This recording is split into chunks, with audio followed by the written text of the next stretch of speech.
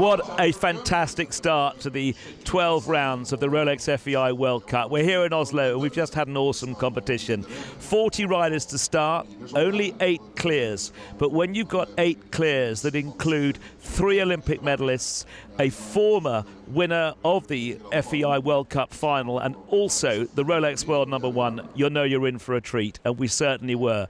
Three riders went double clear. The winner, Jeroen Dubbeldam, former Olympic individual gold medalist. He was clear. He beat Beat Mandli, who was in second place, Sergio Alvaro in third, Scott Brash for Great Britain, team gold medalist from London, he was in fifth, William Funnell sixth, he was fourth here last year, Pius Schwizer on a very nice eight-year-old called Power Play, he was in seventh, and Rolex World number one, Rolf Göran Bengtsson, he finished eighth from the eight clears that came forward.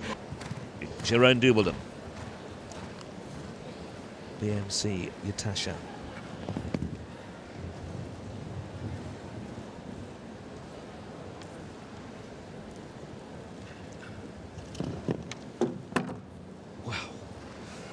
Well, he must be nailed on.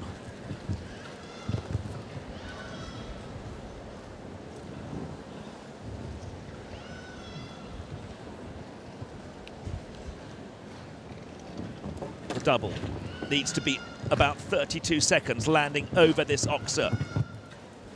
Just up on the clock, almost exactly the same. That's the time to beat. That's Beat Mandli's time. 43.83 down with just one to go. It's going to be close. In front goes the former Olympic individual champion, Jeroen Dubbeldam from the Netherlands and BMC Utascha. Jeroen, great start to the season for you. Yeah, you can say that. Uh, a little bit, a little bit of difficult se outdoor season actually, uh, starting with Utascha, and the pressure was a little bit too much on. You know, everything had to go too fast. And then after Rotterdam, I took my time and settled down, uh, uh, gave her the shows that she needed at that time. And now, uh, actually, this was her first big, big show again, back uh, on the on the highest level. And she she gave me a fantastic feeling. She gave me already a fantastic feeling the last few months uh, in Calgary, not not in the Grand Prix, but in the other classes. And uh, now, for me, was the time right to put her in a big class again and a much smaller arena than it would be outdoors. So she's proving to be good in both indoor and outdoor.